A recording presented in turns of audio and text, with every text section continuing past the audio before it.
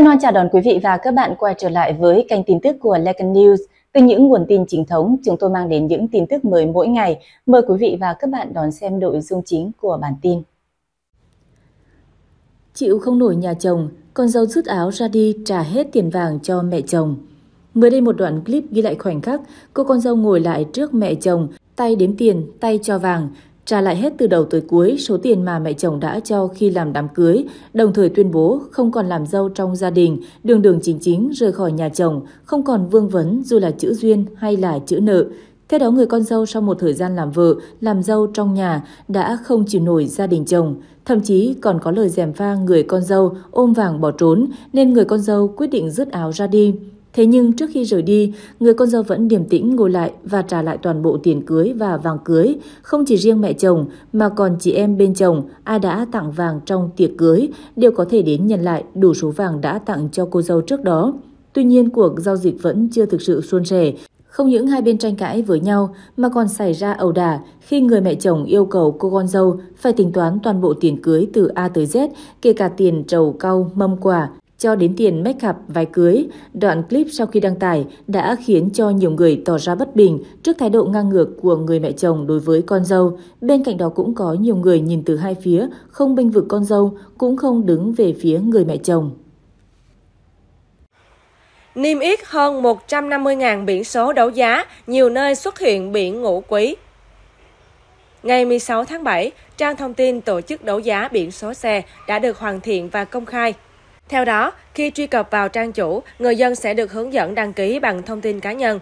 Đồng thời trên trang này cũng có nhiều chức năng khác như chọn loại xe, chọn tỉnh, thành phố và dãy số người dân mong muốn tham gia đấu giá.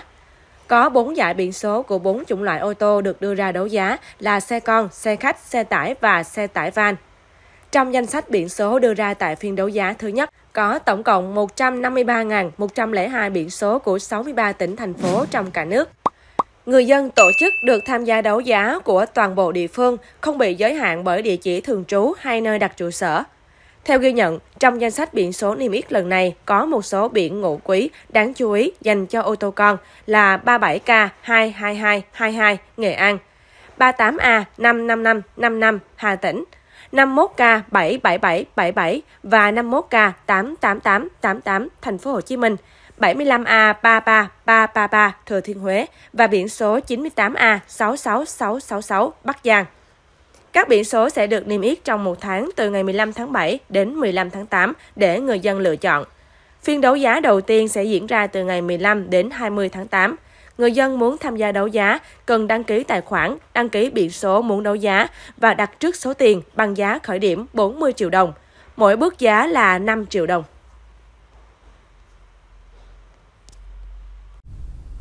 Máy bay Vietnam Airlines hạ cánh khẩn cấp tại Dubai để cấp cứu hành khách. Chuyến bay số hiệu VN50 của Vietnam Airlines khởi hành từ sân bay Heathrow ở Anh tới thành phố Hồ Chí Minh phải hạ cánh khẩn cấp tại sân bay Dubai sau hơn 7 tiếng bay để cấp cứu hành khách. Khi phát hiện hành khách A ngồi ghế 19C, 36 tuổi, quốc tịch Pháp, gặp vấn đề về sức khỏe, phi hành đoàn đã kêu gọi hỗ trợ của một bác sĩ tình nguyện trên chuyến bay tiến hành các thao tác cấp cứu nhưng tình trạng sức khỏe hành khách không được cải thiện. Phi hành đoàn lập tức thông báo trao đổi trực tiếp với trung tâm điều hành khai thác của Vietnam Airlines và quyết định hạ cánh xuống sân bay gần nhất, sân bay Dubai lúc 8 giờ 55 ngày 16 tháng 7. Theo giờ các tiểu vương quốc Ả Rập thống nhất để cấp cứu đảm bảo an toàn cho hành khách. Do sân bay Dubai không phải điểm đến thường lệ nên hãng không có nhân sự đại diện tại đây. Để nhanh chóng hỗ trợ hành khách và người thân xin visa làm thủ tục nhập cảnh, hãng đã liên hệ phối hợp chặt chẽ với bộ phận mặt đất y tế của sân bay Dubai đón nhận, cử nhân viên cùng hành khách và người thân đi cấp cứu kịp thời. Hiện tại sức khỏe của hành khách đã ổn định, được bệnh viện và người nhà chăm sóc. Đại diện hãng hiện đang giữ liên lạc thường xuyên để thăm hỏi, cập nhật thông tin về tình hình sức khỏe và tiếp tục trợ giúp hành khách khi cần thiết.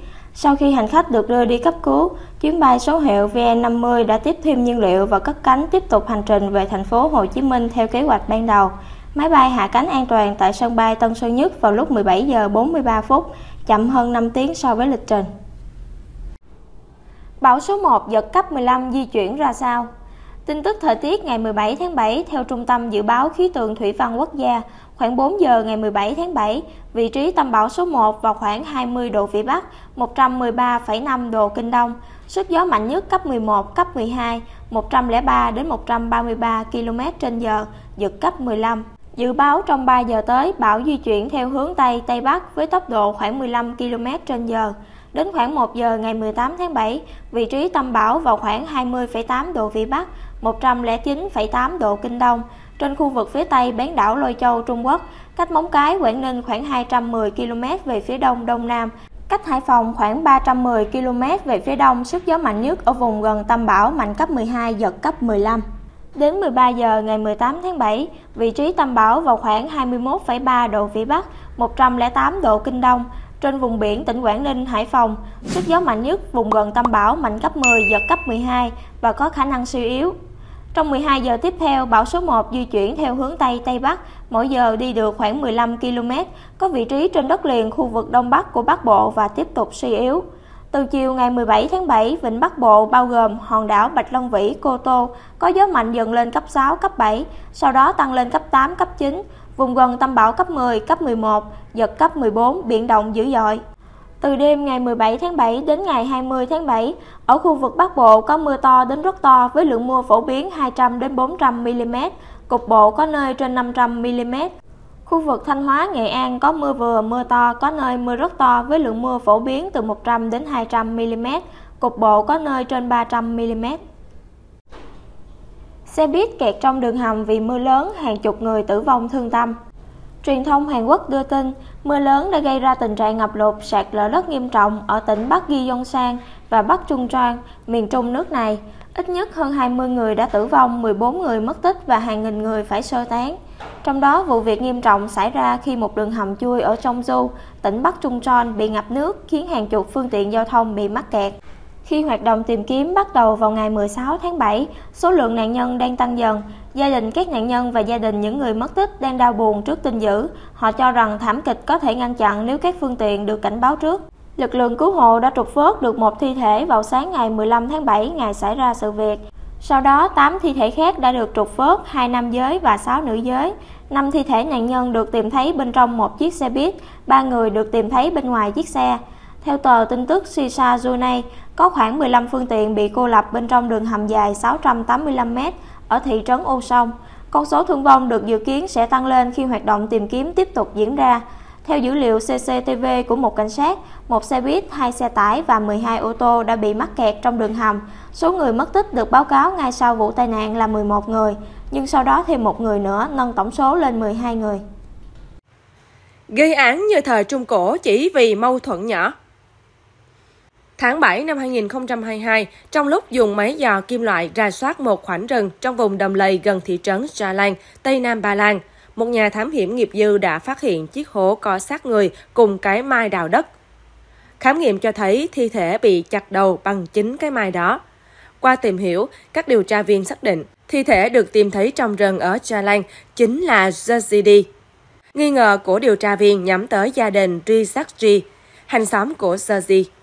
Hai nhà vốn không hòa thuận từ lâu.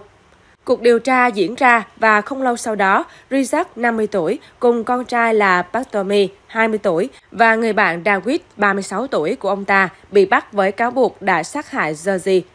Vợ của Rizak cũng bị viện công tố ghép tội nói dối nhằm cản trở cuộc điều tra.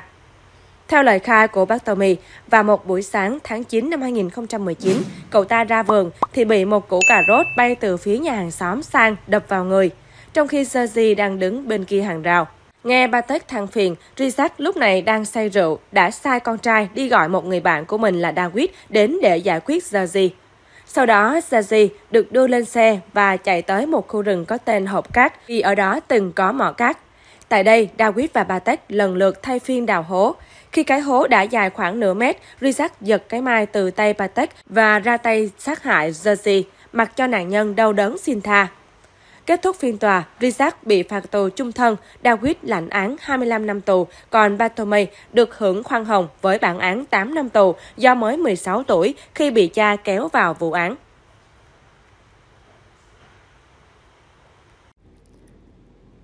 Người dân Đà Nẵng đội nắng đào đặc sản tiến vua nơi vùng vịnh.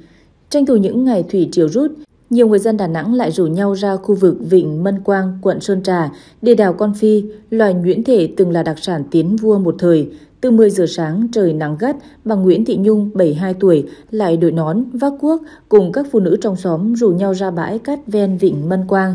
Xa xa hàng chục người như bà Nhung đang đội nắng, cúi không người đào con phi, ăn mình trong cát. Những ngày cuối tháng âm lịch, thủy triều rút sớm để lộ ra bãi cát trải dài. Nơi đây hàng ngàn con phi đang ẩn náu dưới lớp cát dày.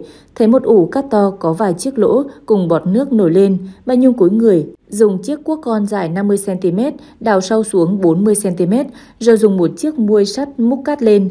Chốc lát bà móc lên một con phi dài bằng ngón tay, rồi bỏ vào rổ nhựa. Ngâm mình dưới nước sau 6 tiếng đồng hồ, khuôn mặt ông Phan Văn Thức, 70 tuổi, trở nên trắng bệch vì thời gian lâu ở dưới nước. Theo ông Thức, phi được mang về bán lại với giá 20.000 đồng trên ký nguyên vỏ, còn tách vỏ lấy ruột thì bán với giá 120.000 đồng trên ký ruột. Tầm 4 ký vỏ thì được 1 ký ruột. Phi chế biến được các món hấp, xào, nấu cháo, nấu canh với hương vị thơm và vị ngọt là đặc sản giải nhiệt trong những ngày hè oi ả. Xuất hiện nhà vệ sinh ở Tây Bắc có view triệu đô, cạnh tranh cầu Cá Tra miền Tây. Xuôi dưới miền Tây có cầu Cá Tra, đặc trưng của miền sông nước. Ngược lên miền núi, mới đây đã xuất hiện một chiếc nhà vệ sinh thô sơ, triệu đô cao cấp nhất thế giới.